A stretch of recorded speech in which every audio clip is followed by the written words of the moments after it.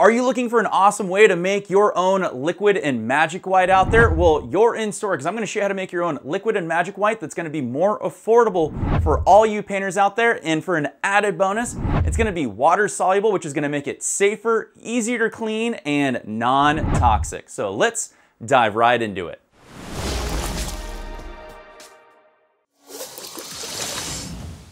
Hey, it's me, it's Wild coming at you to help you out with your creative adventures. And if this is your first time here and you want to become bigger and better with all of your creative needs, don't forget to hit that big red subscribe button and tick that bell so you know when my videos go live for you. And hey, really quick, if you like any of the products that I'm using in this video or any of my videos, I did you all a favor. I put links in the show notes below so that way it's really easy for you to get the supplies so that way you can make your own magic white. Let's now get into the video. If you're not familiar with Magic White, it is the base medium that you put down on your painting that allows you to easily blend and move your colors around. But sadly, depending on where you are, this little product can be very hard to find. So making your own liquid and magic white is gonna be very important for you. To make our awesome, affordable, and safe liquid and magic white, we're gonna need a little bit of supplies. We're gonna need some titanium white paint that is water soluble.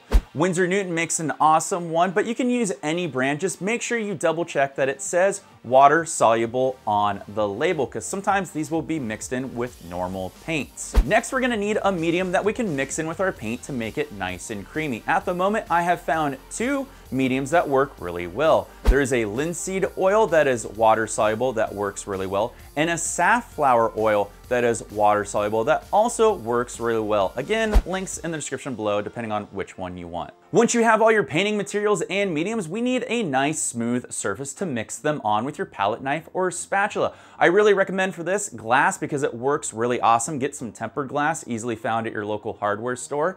But one thing you probably always have lying around is your mixing palette, which I will show in this demonstration here. If you have none of those, a really cool hack you can do is if you buy any type of pack of canvases online or from a store like let's say Michael, they usually come with a nice little acrylic sheet right on front for protection. So you can just put this down on any table here and it'll be non-porous and you can use your mixing paints and your oil here and make some awesome liquid white. Now every paint and painter has their own style and flair of how they would like their magic white.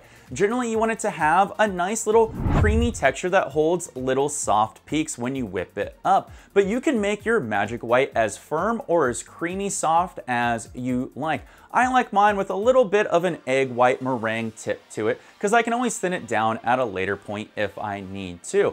Mixing the paint is best suited at a 50-50 ratio as you begin. Now, if you want to get really technical, you can weigh out your paints and your oil if you want, but just eyeballing it will be fine as well. Slowly introduce the oil into the paint as you mix it all the way around and add a little whip to it every now and then to see how strong the peaks hold. Once you get the consistency at what you like, you need to find a place to store it. Now there's a few different places I suggest. You can go get yourself a nice little small paint tin can from your local hardware store that you can put in so that way it's an airtight seal. There's also some awesome little tin cans that you can buy off Amazon. Just make sure you put a little bit of wax paper and saran wrap it if you don't plan on painting for quite some time so this way it keeps the air out. And when you're ready to use it, you just give it a good old shake within the cans there and they're good because that way they will get all the separation to be mixed back in.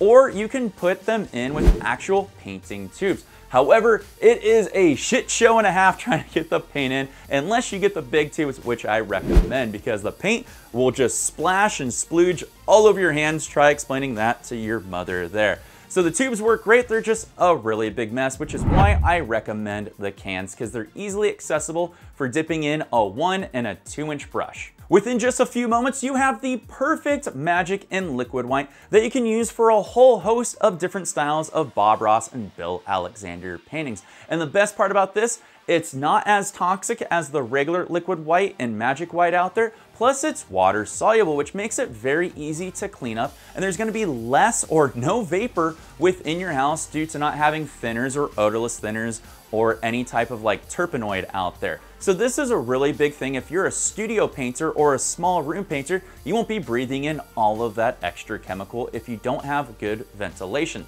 which this is why this is OP for a lot of you painters out there just starting. Now, if you're not sure the proper way to apply Magic White to your canvas, don't worry, I got you covered. Put a video over here to the side that's gonna show you the proper technique and give you a few little tips, tricks, and even a hack to make sure you apply it perfectly every time so that way you get the perfect painting at the end of the day. Once again, my name is Wild and I will see you all in my next painting video coming out real soon. Take care all and peace!